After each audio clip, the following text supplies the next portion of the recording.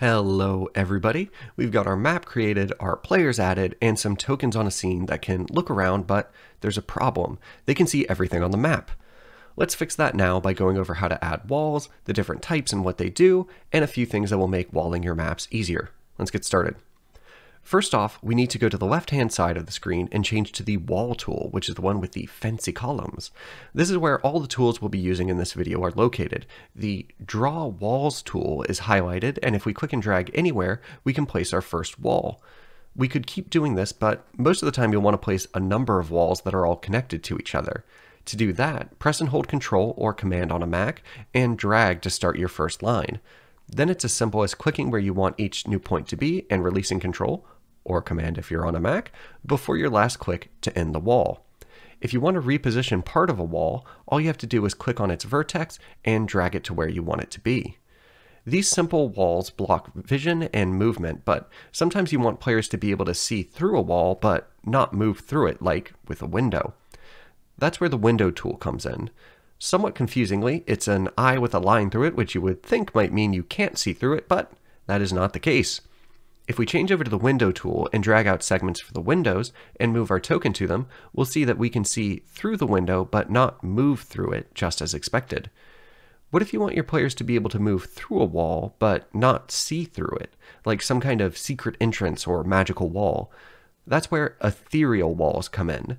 You can make them with this mask icon over here. With it selected, we can mark off this area with ethereal walls, and then when we look through it as our token after resetting Fog of War, we can't see through the walls, but if we try to move through them, it's like platform 9 and 3 quarters, and we're on the other side.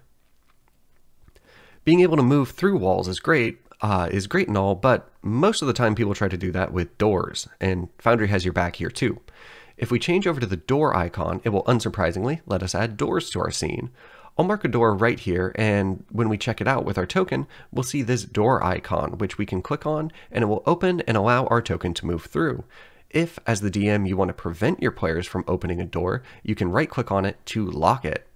Then, when a player tries to open the door, they'll hear a rattling sound, and you can smugly tell them that the door is in fact locked.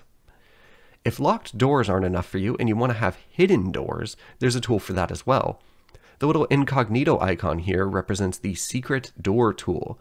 With it selected, we can draw out a secret door, and when we check it out as our token, it looks just like a normal wall, which you can tell your players about if they manage to find it with an investigation check or by some other means. There's one last type of wall uh, that we haven't covered, and it's terrain walls, which are represented by this mountain icon. Terrain walls are great because they let you see what's within the walls, but not what's beyond them. That's a little bit hard to understand, so let's take a look at an example. I'm just going to put terrain walls around this part of the map and then bring our token over here to look at it. We can see the object, but not past it. This is great for a lot of environmental features like stones, columns, buildings, and helps make your maps look better by letting your players actually see them. Here's where it gets a little crazy. What if you want some combination of all of those things? Or if you want one-way walls that you can see out of but not into, or to block movement one way but not another? You can do all of that too. You can click on any wall segment to open its configuration menu. Uh, here you can set movement restrictions to be on or off with the movement restriction setting.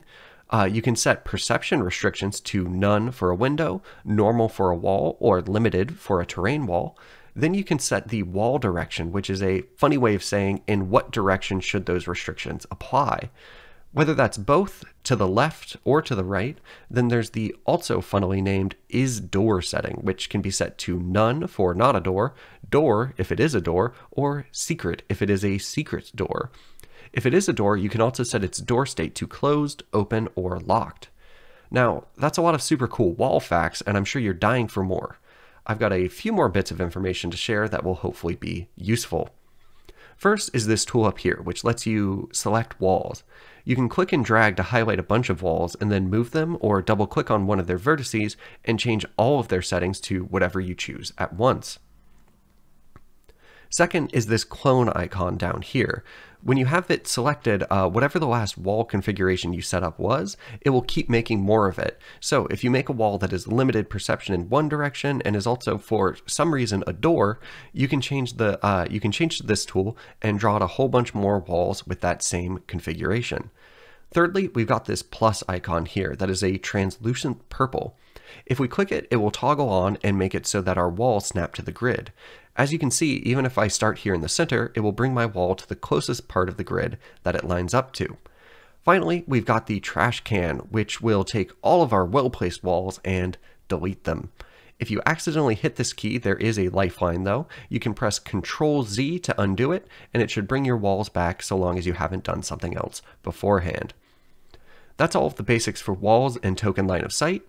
Next up, we're going to take a look at lighting, which is going to go through all of the great new lighting features that we got in the 0.7 uh, releases of Foundry, and I will see you in the next one.